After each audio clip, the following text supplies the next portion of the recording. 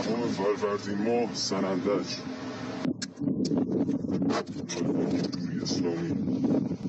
پس از دویست روز فریاد مرگ بر اصل ولایت فقیه حالا خودی های نظام هم می‌گویند یا ادعا اینطوری فکر می‌کنن.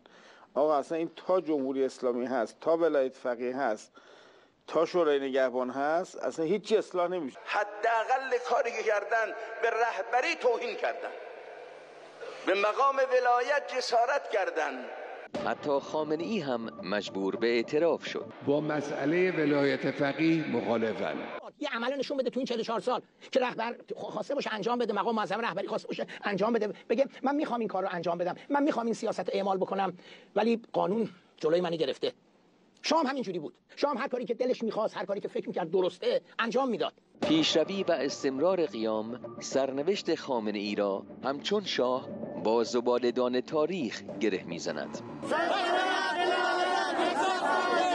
سلطنت ولایت یک سال جنایت.